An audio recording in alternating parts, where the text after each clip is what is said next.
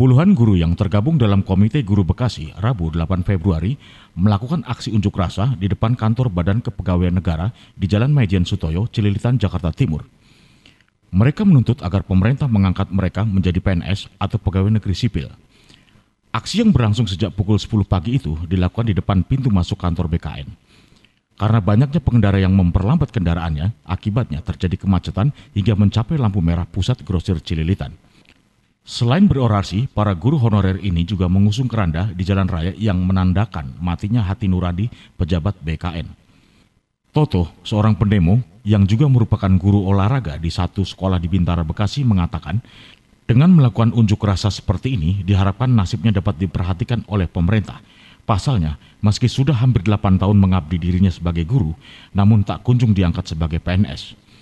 Dalam aksi ini sempat terjadi kericuan antara guru dan petugas keamanan yang berjaga.